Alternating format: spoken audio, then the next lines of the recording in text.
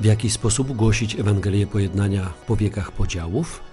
To pytanie papieża Franciszka wybrzmiało podczas ekumenicznych nieszporów zamykających tydzień modlitw o jedność chrześcijan. W uroczystość nawrócenia świętego Pawła sprawowano je w rzymskiej bazylice Apostoła Narodów.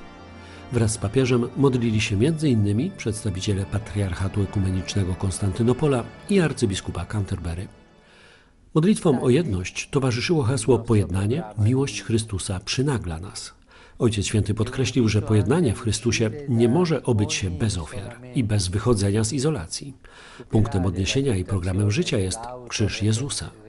Patrząc nań, trzeba przezwyciężać pokusę autoreferencyjności, która uniemożliwia pojęcie tego, co Duch Święty dokonuje poza naszymi przestrzeniami.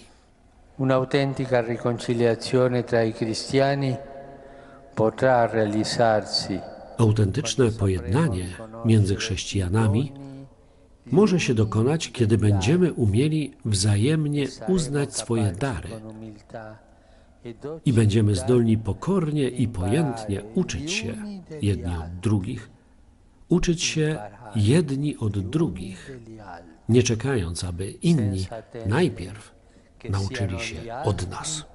a imparare prima da noi. Papież podkreślił, że jeśli naprawdę umieramy dla siebie, aby żyć dla Jezusa, to możemy za apostołem narodów powtórzyć to, co dawne minęło. Spojrzenie wstecz jest pomocne i bardzo potrzebne, by oczyścić pamięć, ale skupianie się na przeszłości może paraliżować i uniemożliwić życie teraźniejszością, mówił Ojciec Święty. Na zakończenie Franciszek zaapelował, byśmy korzystali z każdej okazji, aby razem się modlić, głosić Ewangelię, miłować i służyć, zwłaszcza najuboższym i zapomnianym.